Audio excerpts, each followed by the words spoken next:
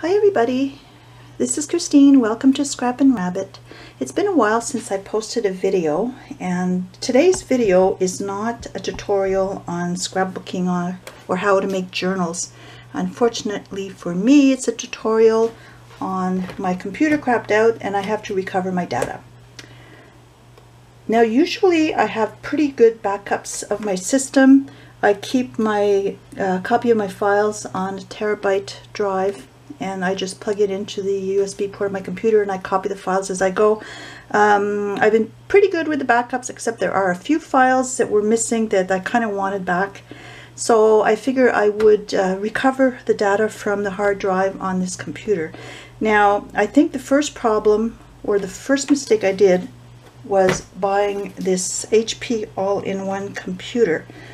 Um, I've seen quite a few reviews on YouTube about these systems and unfortunately it seems that in the computer repair world HP stands for horrible product and I'm tending to believe that now because I've had problems with HP products before um, including their printers. I had a printer for I guess just over a year and that crapped out. I've had this for just over four years. This model is the HP Pavilion all-in-one and it's a model number 23Q119 and I think the 119 stands for how many days before you start experiencing problems with this system. Uh, frankly I've had this and about a year into ownership maybe not even quite that long I've had to reformat to the original factory defaults because Windows updates cause some conflicts with hardware or whatnot. And then another year later, I've had to do it again. And now, once again, um, the problem this time is it just won't boot up. The, uh, the light at the front when you start up the computer is just black. There's no power, it seems, going to the machine. Although on the back of the computer there is a little green light where you plug in the, uh, the power cable, but there's no light that turns on on the front. Now I've heard that with these systems the problem often is that these are flat screen um, like giant, they're like giant laptops and they use some laptop components in here but the screen is so large and it needs a lot of power to help keep everything cool so often what happens is the motherboard goes or the power supply goes and frankly I don't think it's worth repairing um, now some companies will offer service where they will recover your data for you and it's not cheap though I think they charge like a hundred dollars and up if it's just a simple recovery, about a hundred bucks. And if it gets more complicated, then they will charge you more. And I certainly didn't want to pay that. So I found this little gizmo here. It's the USB 3 SATA hard drive flat docking station. And this will work by inserting my hard drive into this docking station and then I attach it to my next computer and I can just copy my files over. So that's what I'm going to try doing today. I just received it from Amazon. And I'll include a link to it as well. Oh, I should also mention that this unit is only $29.99 in Canada. So I figure at that price, I'm going to risk it if I can recover my data and also because I'm going to be transferring this to my laptop which is I hate to say also an HP product I'll probably be able to reuse this in a year or two because not only is it compatible with desktops it also works with uh, with laptops and also you want to uh, to use this model for SATA hard drives and uh, so you can look up your computer system and see what type of hard drive you have. Again, if you have a computer that's probably four or five years old, I read that the odds are you have a SATA hard drive. There's two types. I can't remember what the other type was. But so anyway, so I'm probably going to get some uh, some more use out of this. Now, I'm not going to show how I dismantled this station. this is the back that comes with it.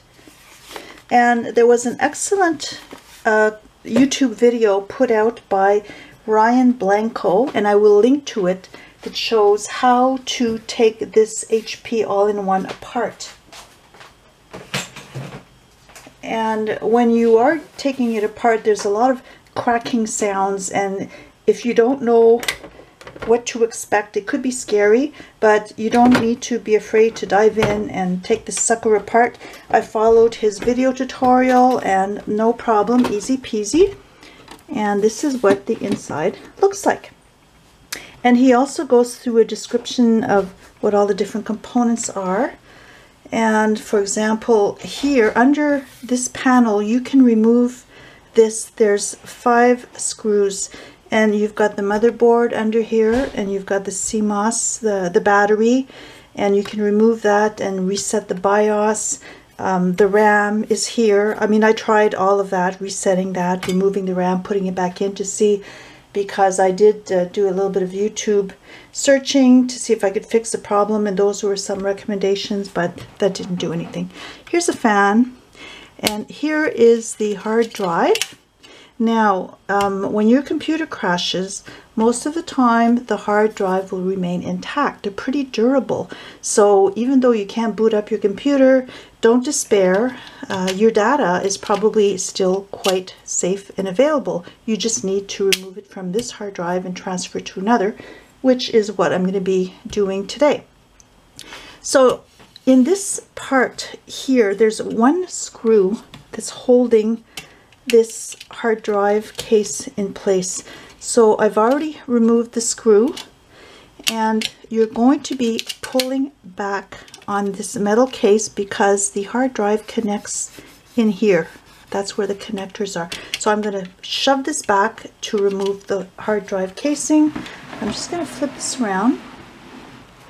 Now I've removed this a couple of times already so it's a little bit easier, but you might have to really tug. I had to tug and tug the first time to get this out. So I'm just going to pull back. Jiggle that a bit. And there's the hard drive.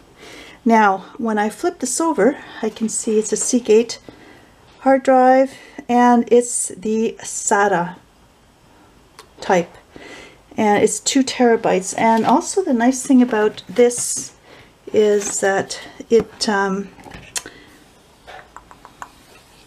it's compatible with um, with drives that are over three terabytes. I guess some of them probably can't handle the additional volume but uh, this one will handle hard drives that are over three terabytes so this is two terabytes, so it's going to work excellent. I'm going to put this away and I'm going to get this sucker out of the case.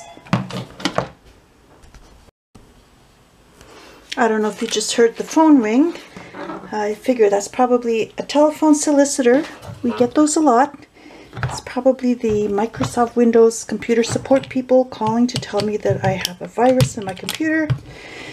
But sorry, it's not the Microsoft Windows that's the problem. It's the crappy HP hardware.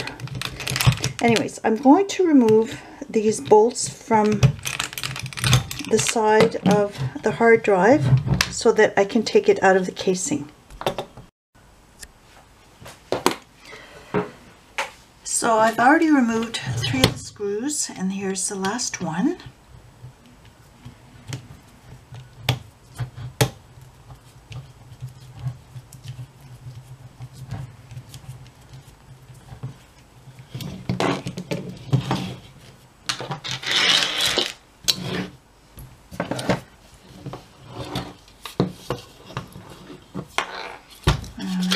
this just slides out like that.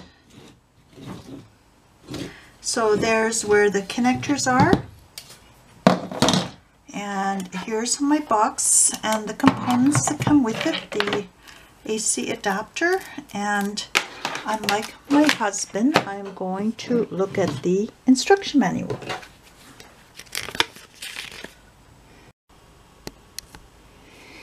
So the drive on this one looks a little bit different than the one that I've got, including on the back.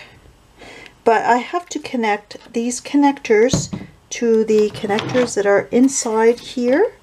I don't know if you can see that. They're right in here, bottom, bottom right. So I'm going to flip this over and insert the drive in there and push in and you can feel it connecting. Close this and then it says to connect the power adapter to a wall socket then connect the USB cable from the dock to the computer. So I'm going to go ahead and connect the adapter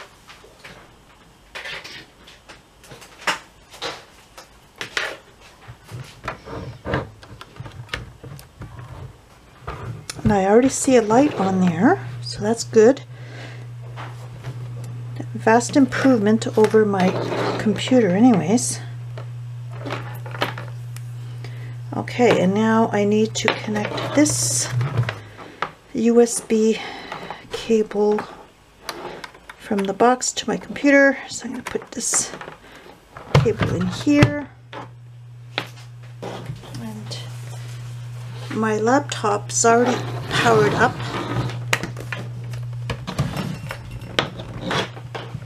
And I'm going to connect that onto the side.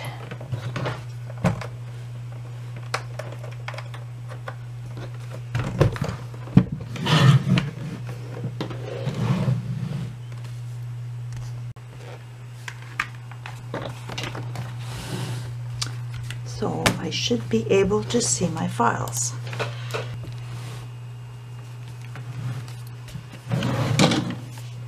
Oh yeah, there's the drive. Program files.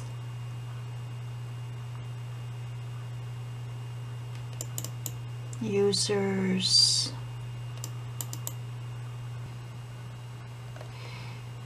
There's my user account. So you scroll to your user account under users and it says uh, click continue to access these files. So I'm hoping this is going to work.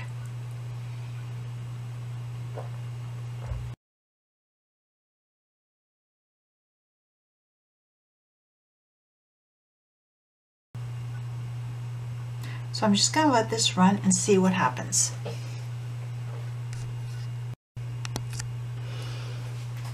Okay, so I clicked on users and I clicked on my username and after a while it did come up with a list of files and I've got all of my files available on here which is absolutely awesome.